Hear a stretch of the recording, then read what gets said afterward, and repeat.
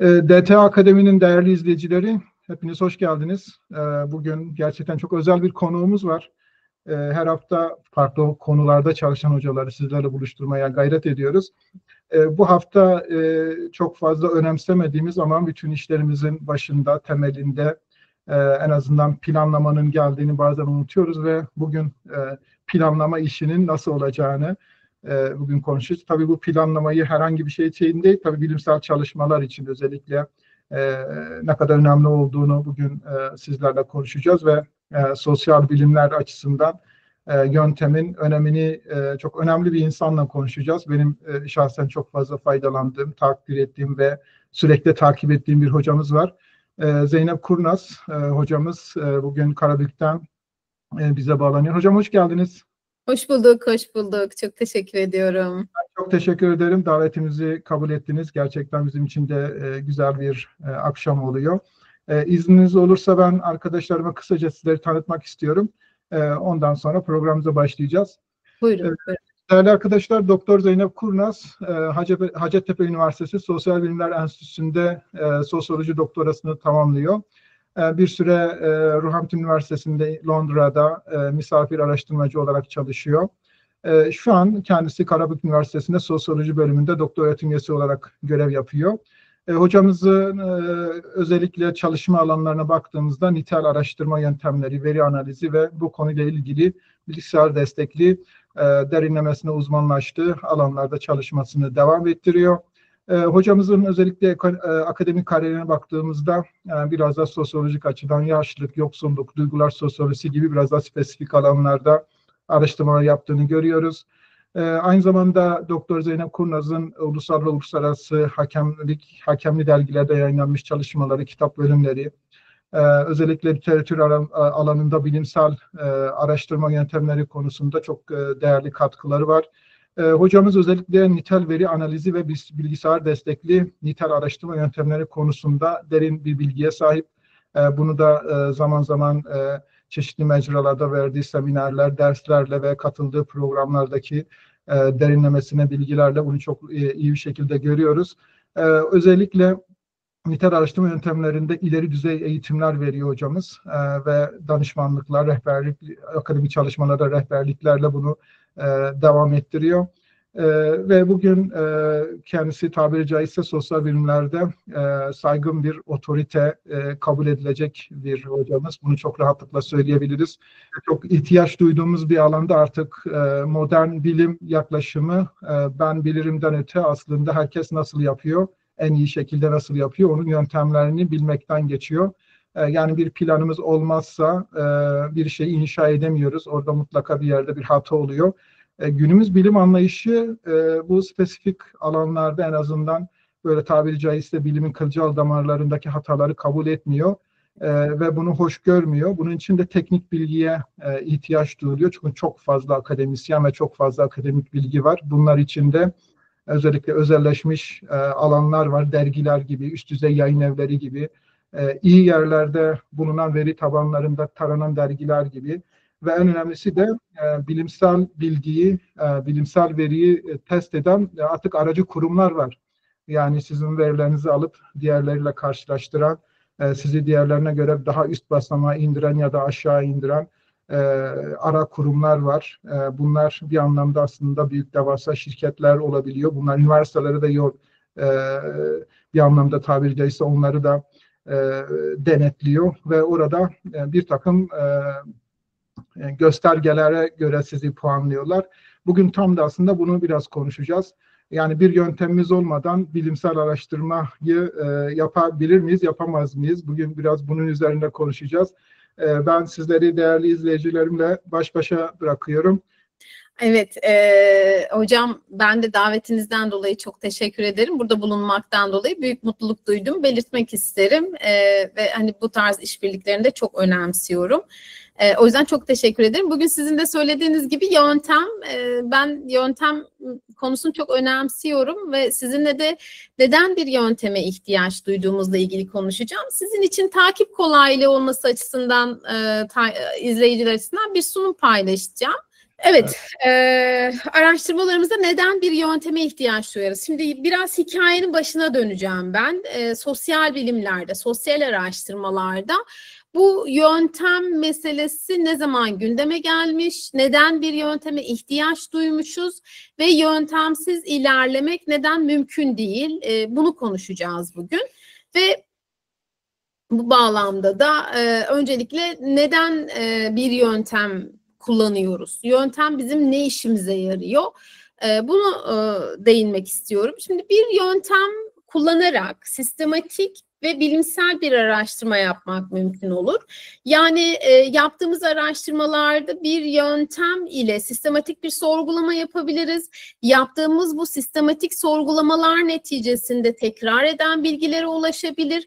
Bunların genellenebilirliğini test ederiz ve genellenebilirliğini test ettikten sonra bunlarla bir teorik dayanak oluşturup oluşturamayacağımızı. Şimdi teorik derken de aslında olayların, incelediğimiz konuların neden ve sonuçlarıyla açıklanmasından bahsediyoruz. Bir açıklama geliştirebiliriz ve tabii ki e, bir taraftan da bir yöntem kullanmak bizi araştırma nesnemizle, araştırma sahamızla belli bir mesafeye e, de konumlandıracağı için mümkün olduğunca nesnellik ve tekrarlanabilirlik sağlar. Şimdi böyle baktığımızda bir araştırmayı, bilimsel bir araştırmayı, bilimsel bir araştırmayı, e, bilimsel, bilimsel bir bilgiyi diyeyim, e, bilimsel olmayan bilgiden ayıran şey aslında kullandığı yöntemdir. Yani yöntemlerle biz, kullandığımız yöntemlerle biz üzerinde çalıştığımız konu hakkında bir takım kanıtlar üretir, bu kanıtları sunar ve e, ürettiğimiz bilginin çeşitli dayanakları olduğunu anlatırız otoritelere, izleyicilere, okuyuculara. Bu bağlamda yöntem çok önemli ve yöntem kullanmaksızın üretilen hiçbir bilgi için bilimsel bilgi diyemeyiz maalesef. Maalesef ya da iyi ki ikisini söyleyebiliriz tabii. E, dolayısıyla burada bilimsel bilgi için yönteme ihtiyacımız var. Peki burada yöntem nedir dediğimizde? Peki yöntem, yöntem aslında bir yol e, ve bizim aslında bir el feneri gibi düşünebiliriz. Araştırma bir yolculuktur. Araştırma bir yolculuktur. Bir noktada araştırmaya başlarız. Başladığımız bu araştırma yolculuğunda bir noktaya ulaşmaya çalışırız. İşte başlangıç, başlangıç ve bitiş çizgisi arasındaki yolumuz, yol haritamız, hangi yolu takip edeceğimizi Belirleyen şey yöntemdir. Kullandığımız araçları, teknikleri, izlediğimiz yolu, analiz biçimlerimizi yöntemin içerisinde ele alırız. Dolayısıyla yöntem aslında bir taraftan da bir köprü görevi görür. Ne ile ilgili bir köprü görevi görür? Teorilerle yani teorik bilgi ile ampirik bilgi, teorik bilgi ile uygulamalı bilgi arasında da bir köprü görevi görür. Bu açıdan yöntem e, bizim kullandığımız araçlara, ve izlediğimiz yola verilen isimdir. Dolayısıyla bir araştırma bir yolculuktur dedik ya. Şimdi bunu tekrar böyle daha önce e, bir yerlerde söylemiştim. Şimdi evden çıkıyoruz ve bir yere gideceğiz. Evden çıkıyoruz ve bir yere gideceğiz. E, ne yaparız? Gideceğimiz yerin haritasına bakarız, ulaşacağımız yere bakarız, belki geçeceğimiz caddelere bakarız, değil mi? Ya bir evden çıkayım da bakalım nereye varırsak diye evden çıkmayız. Gideceğimiz yerle ilgili, gideceğimiz yere ulaşacağımız yolla ilgili haritayı kontrol ederiz. Navigasyon açarız. Mümkünse değilse önceden bakarız. Ya da bir yerlerde bir bilene sorarız değil mi? Şuraya nasıl gidilir, buraya nasıl gidilir diye. Tam da aslında yöntemle anlatılmak istenen bu. Yani yöntem bizim yol haritamızdır. Yol haritamızdır ve e, çok önemlidir. Peki bu Yöntem meselesi sosyal araştırmaların ne zaman gündemine giriyor? Doğa bilimleri. Şimdi doğa bilimleri bildiğiniz gibi çok uzun zaman öncesinden beri yani sosyal araştırmalarla, sosyal bilimlerle kıyaslandığında e, belirli yöntemlere sahip bilim alanları olarak kabul edilmekteydi. Fakat sosyal bilimler daha e, düşünce düzeyinde e, seyretmekteydi. Ta ki aydınlanmaya kadar. Aydınlanma döneminde, aydınlanma döneminde artık e, düşünürler toplumda meydana gelen değişimleri anlamak için, sosyal sorunları açıklayabilmek için bir takım arayışlar içerisine girdiler. Tabii bu arayışlara girerken de bir taraftan e, kilisenin o mutlak monarşi ve kilisenin etkisi, e, düşünürlerin üzerindeki etkisine karşı gelmeye başladılar. Yani bu e, kilisenin hegemonik etkisi karşısında bir karşı hegemonya üretiliyordu bilim insan düşünürler, Fransız düşünürler tarafından ve burada akılcı, rasyonel bilgiye ihtiyaç olduğu ortaya çıktı ve bu, bu, bu, böyle bir ses yükselmeye başlandı. Yani kilise karşısında, dogmatik bilgi karşısında rasyonel, akılcı bir bilgiye ihtiyaç vardı.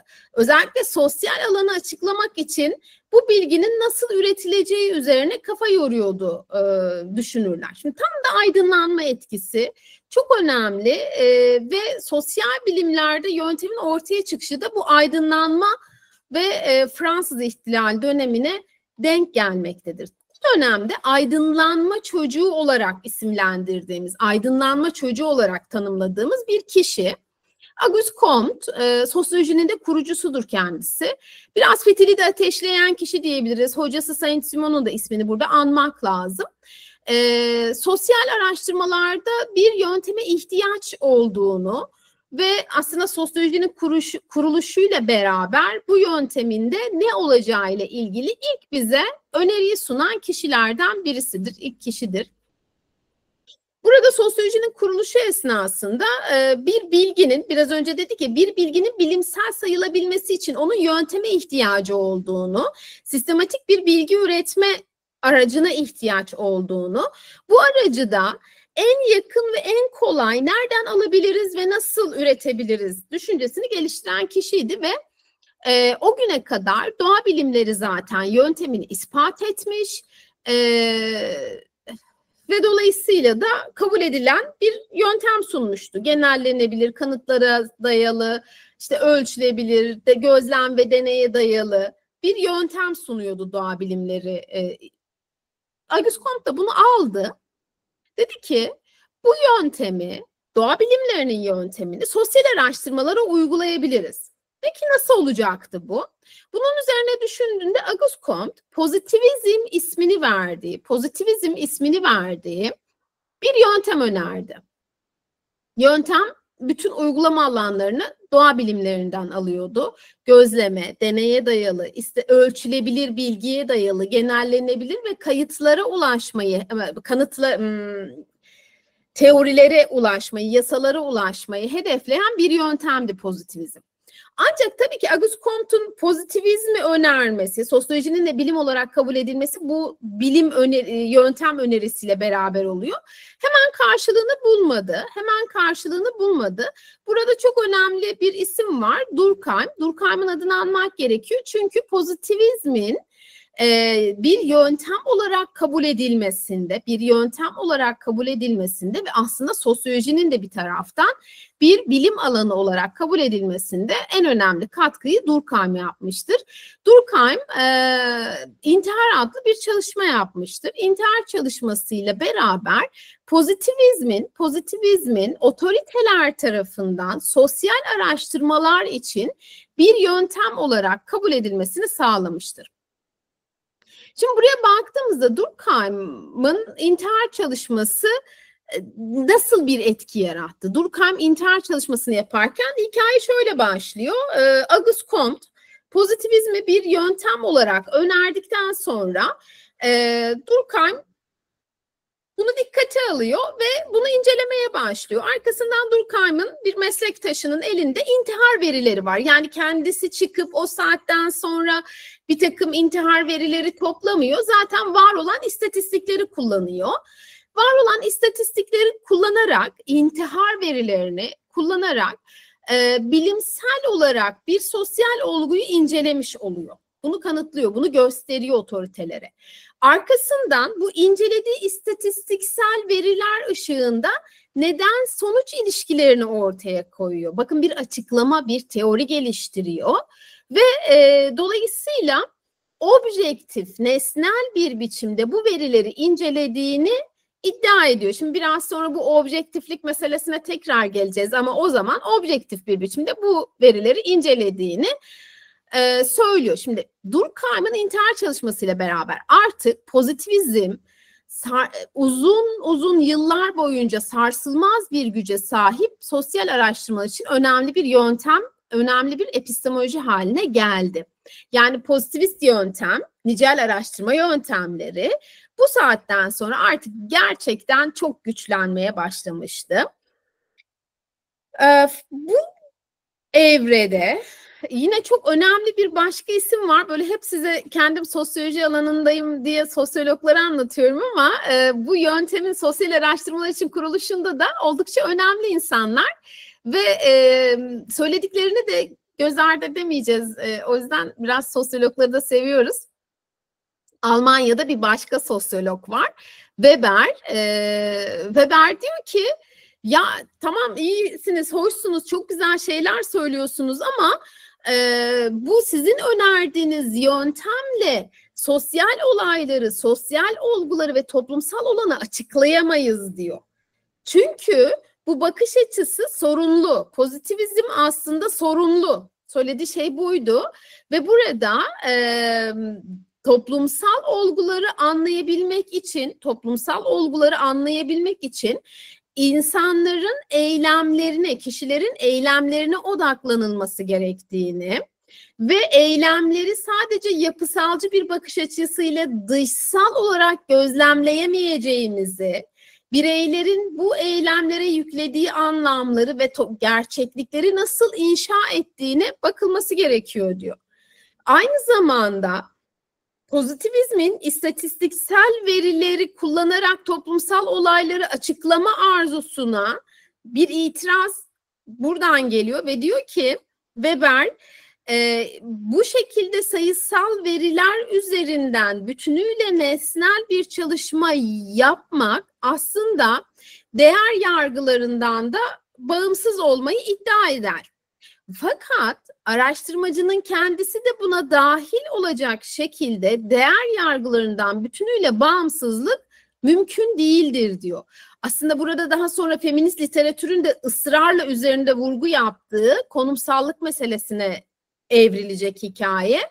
Ve Weber burada diyor ki araştırmacının kendisi de konumsaldır.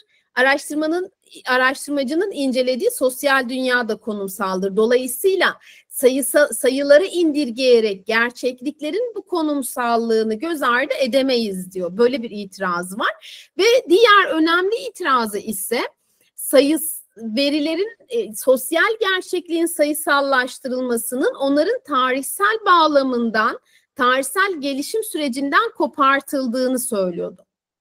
Böyle uzun uzun anlattım çünkü Weber'in itirazları e, çok önemli itirazlardı ve bir taraftan yöntemin de gelişmesini sağladı.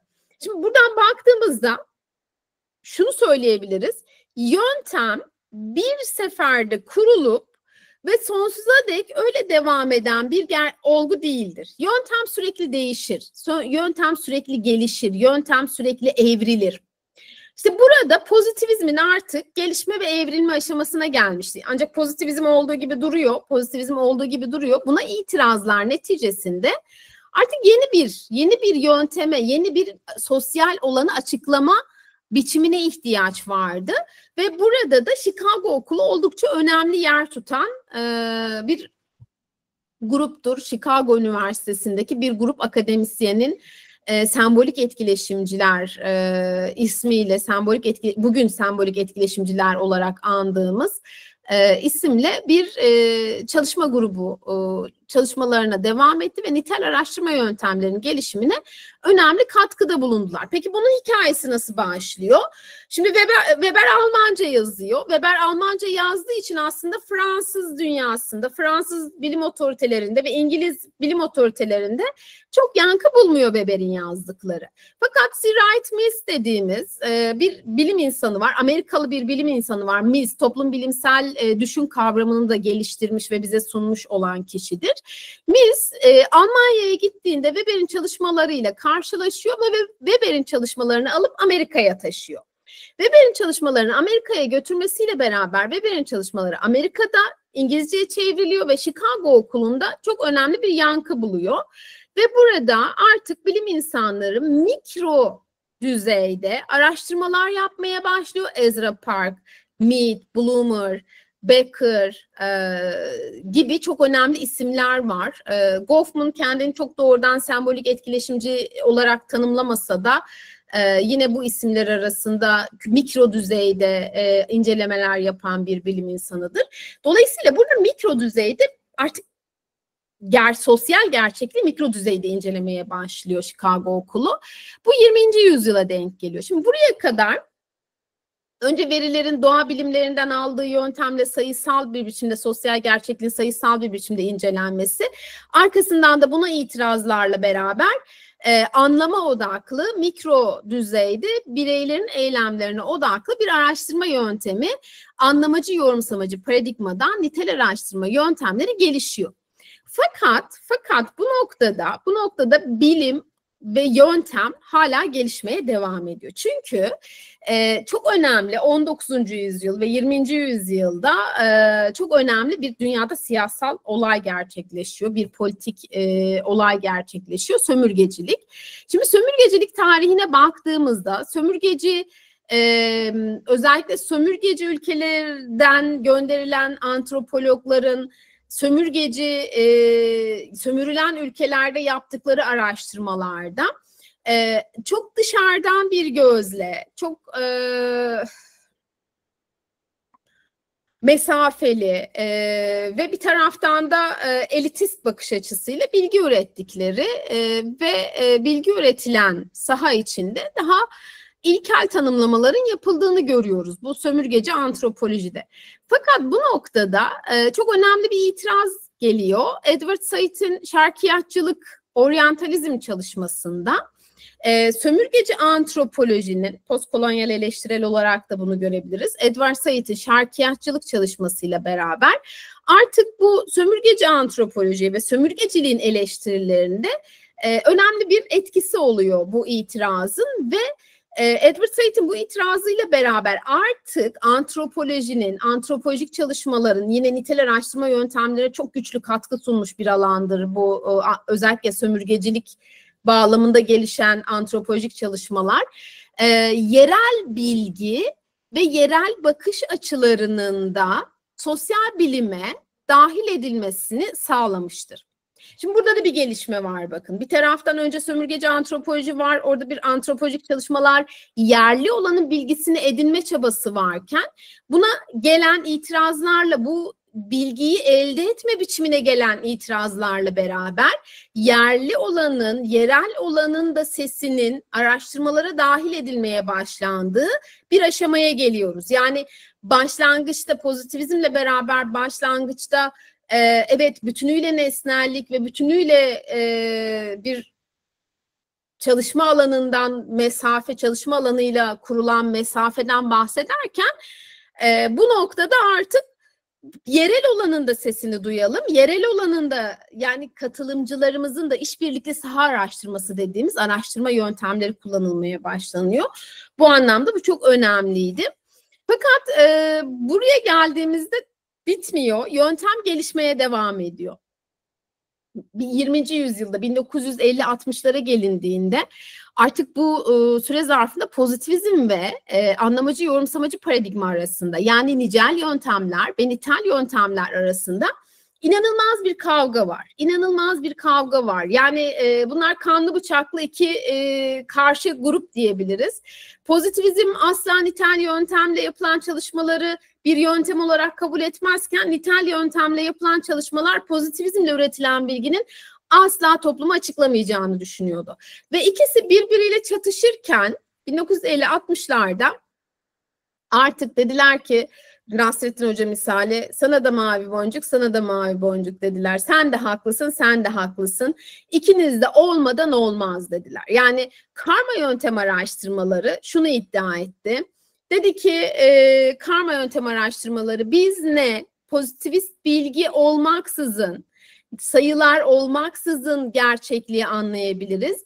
Ne de anlam olmaksızın birey davranışlarını görmeksizin sosyal gerçekliği anlayabiliriz. Dolayısıyla bizim hem daha büyük perspektifte büyük resmi görmeye ihtiyacımız var. Hem de mikro düzeyde birey eylemlerini, birey anlamlarını ortaya çıkartmaya ihtiyacımız var dediler. Ve dolayısıyla burada karma yöntem bir e, önemli bir e, etki yaratmış. Pozitivist yöntem ve e, anlamacı yorumsamacı yöntemler arasındaki savaşın durulmasını sağlamıştır.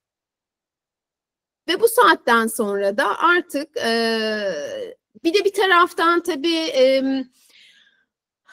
anlamacı yorumsamacı paradigmadan gelen nitel araştırma yöntemleri öznelliğini ortadan kaldırabilmek için de çok büyük mücadele vermiştir. Yani çünkü pozitivist yöntem, nitel araştırma yöntemlerinin yumuşak karnı öznellik, anlam. Şimdi pozitivizm de hep oradan vurdu nitel araştırma yöntemlerini ve nitel araştırma yöntemleri bu süre zarfında kendi rüştünü ispat edebilmek için geçerlik güvenirlik mekanizmalarını çok güçlü bir şekilde işletmeyi öğrendi. Yani güven duyulabilir bir anlam, güven duyulabilir bir bilgi üretmek için çok büyük bir çaba sarf etti ve karma yöntem araştırmalarıyla beraber artık nitel ve nicel yöntemler, pozitivist paradigma ve anlamacı yorumsamacı paradigma artık e, yan yana yürüyebilir hale geldi.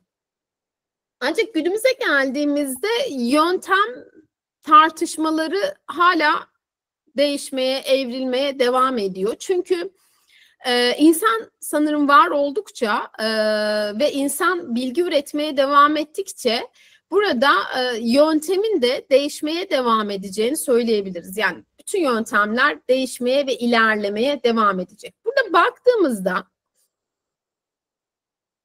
internet, internetin e, insan hayatına girmesiyle beraber, hayatımıza girmesiyle beraber bir büyük veri devrimi yaşandı. Devrimler insan toplulukların hayatında son derece önemli kırılma noktalarıdır bir önceki kırılma noktasını sanayi devrimiyle yaşamıştık ve sanayi devrimiyle beraber e, hem sosyal araştırmalarda, sosyal bilimler disiplin olarak ortaya çıktı hem de bilimsel yöntemler e, ortaya çıktı.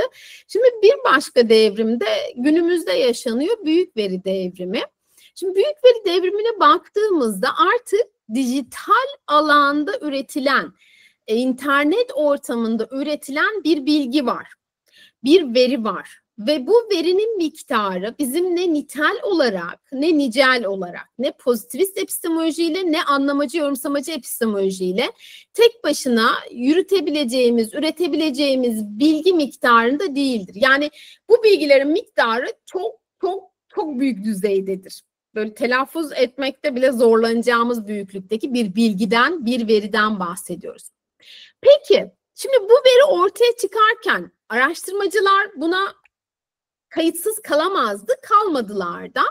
E, sosyal parad yani sosyal araştırmalar yön değiştirdi ve paradigma kayması yaşandı. Ne demek paradigma kayması yaşandı? Yani artık ne sadece pozitivist yöntemle, pozitivist paradigmayla ne de anlamacı yorumsamacı paradigmayla araştırma yapmanın mümkün olmadığı bir yere gelmiştik. Bir dönemeçteyiz.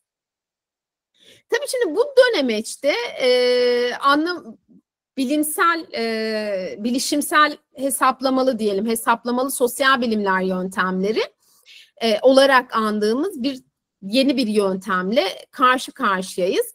Bu bize yeni fırsatlar sunuyor. Hesaplamalı sosyal bilimler yöntemleri artık sosyal bilimlerde sosyal gerçekliği anlamak ve açıklamak için bize gerçek zamanlı veri toplama imkanı sunuyor. Yani anlık dediğimiz verileri toplayabiliyoruz.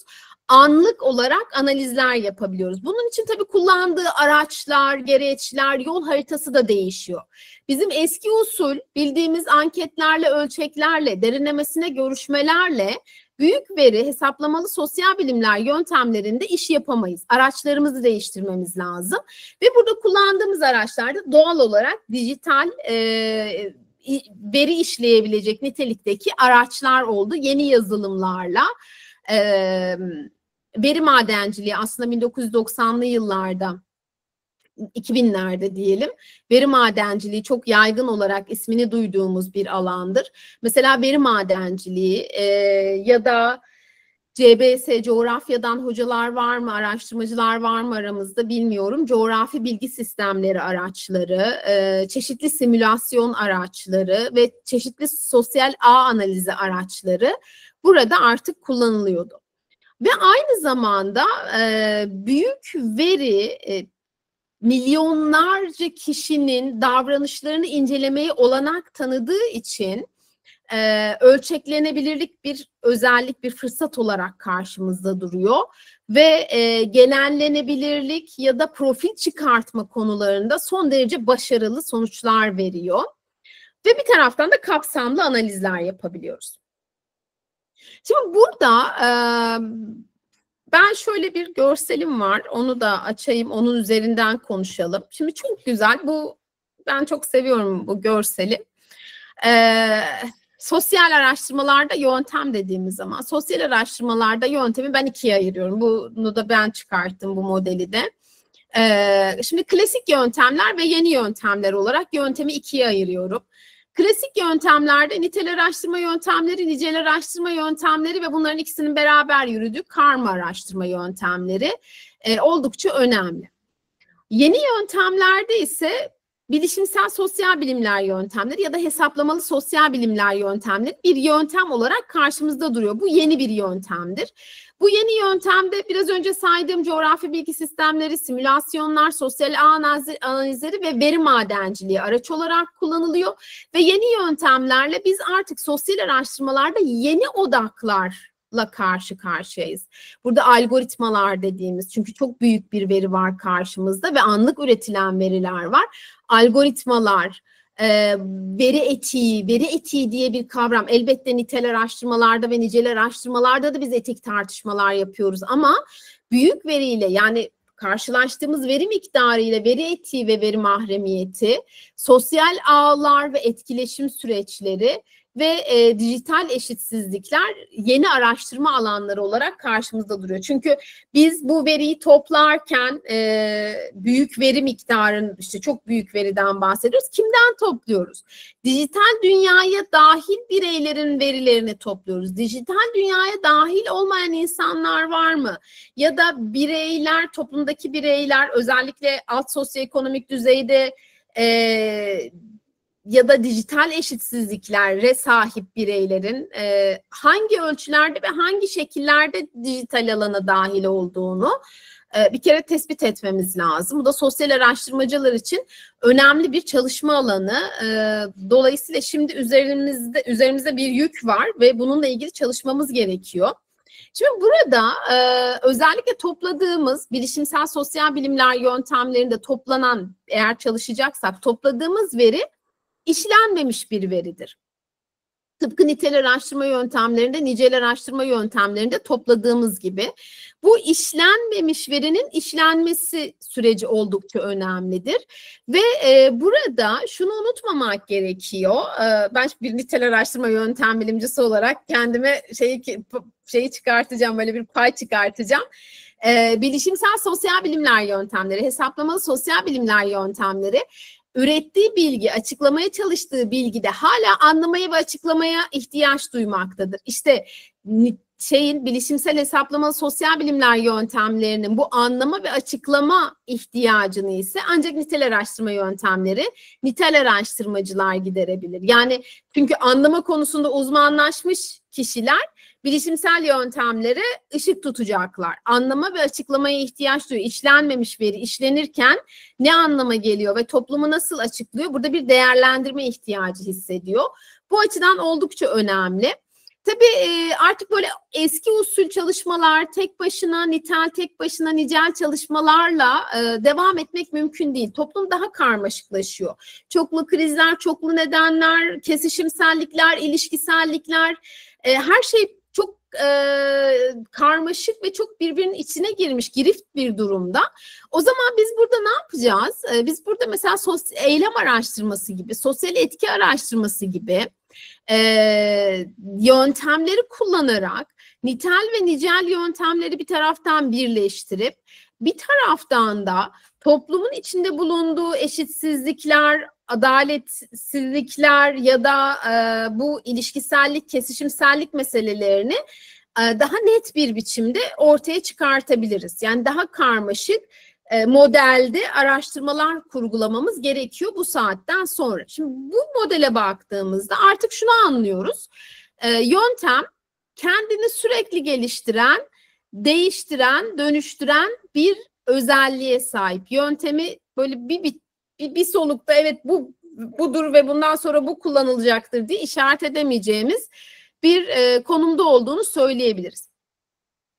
Şimdi bu noktada ben e, size iki, üç kavramdan daha bahsedeceğim. Çoğul yöntemsel çoğulculuk. Şimdi bu biraz önce dedim ya eylem araştırması yapabiliriz, sosyal etki araştırması yapabiliriz, hesaplamalı sosyal bilimlere nitel araştırma yöntemleriyle destek atabiliriz ya da karma yöntemleri kullanarak araştırmalar yapabiliriz.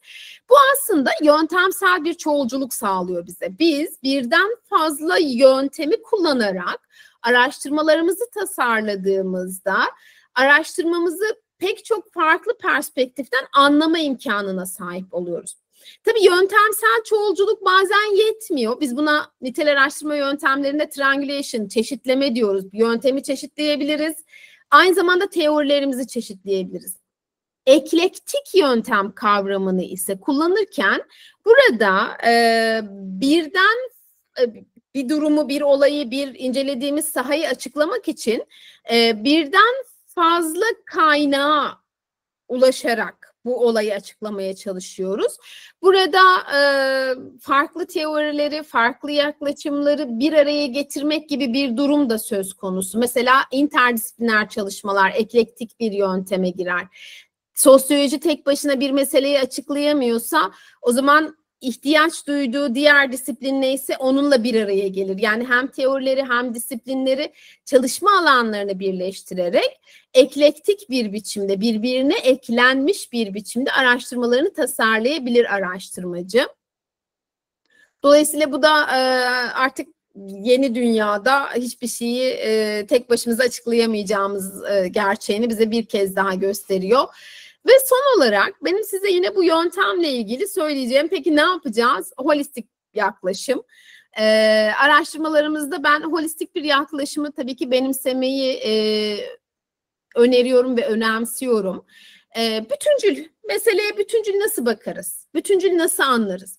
Ne tek bir yöntemin e, en önemli savunucusu olmaya gerek var. Ne tek bir teorinin en önemli savun, savunucusu olmaya gerek var. Bizim bu sosyal gerçekliği, üzerinde çalıştığımız sosyal gerçekliği nasıl daha iyi anlayabileceğimiz, aslında asıl soru bu, nasıl daha iyi anlayabileceğimiz konusunu burada açıklığa kavuşturabiliriz. Holistik bir yaklaşımla, bütüncül bir yaklaşımla hem bağlamları kaçırmayız, yani o kesişimselliği, ilişkiselliği kaçırmayız, hem eklektik bir biçimde farklı disiplinlerden faydalanabiliriz.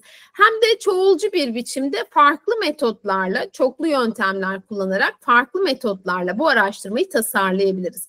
İşte bu hem ilişkiselliği, kesişimselliği görmemizi sağlayan bütünlük, bağlam arayışı, hem farklı disiplinlerin bir aradalığı, hem de çoklu yöntemler araştırmacıya holistik bir yaklaşım sunuyor, holistik bir bakış açısı sunuyor.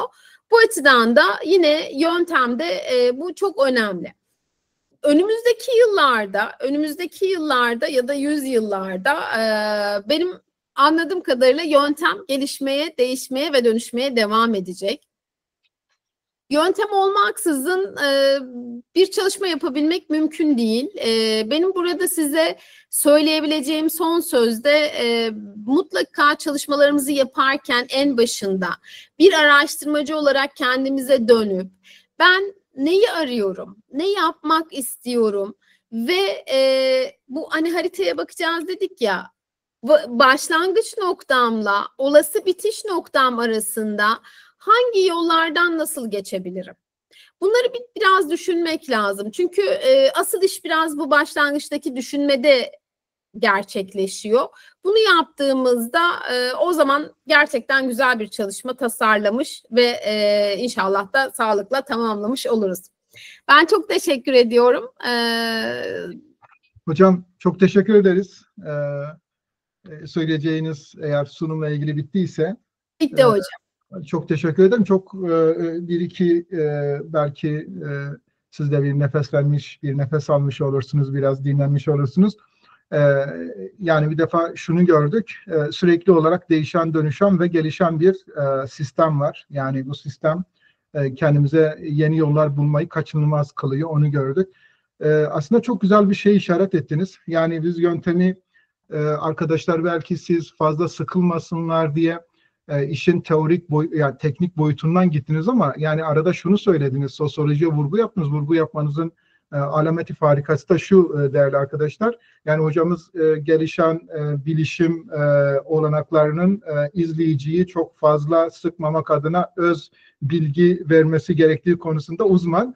E, dolayısıyla e, çerçeveyi de yönteme e, has olarak e, sınırlandırıp vermeye çalışıyor ama yani işin arkasında şöyle devasa bir e, bilgi yığını var. Mesela e, hocamız e, Comte'dan bahsetti, San Simon'dan bahsetti ama yani bunların kitapları yazmalarının e, alameti farikası içindeki içinde bulundukları toplumları iyi analiz etmeleri. Yani burada sadece canlar sıkıldığı için bir yöntem geliştirmemişler. Toplumlarının gelmiş oldukları hal o sanayileşmenin ortaya çıkarttığı buhranı ya da bilim anlayışını yeniden adlandırmak için e, düşündüklerini sistematize edebilmek için yeni yollar bulmak zorunda kalıyorlar.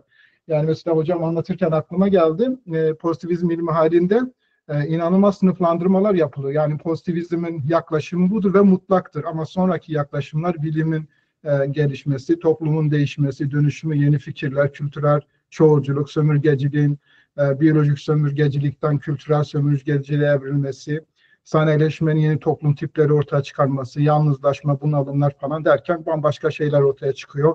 Hocam Chicago okulundan bahsetti, Almanya'da Frankfurt okulu var falan filan. Bir sürü hikaye var arkasında devasa bir sosyolojik bilgi gerektiriyor.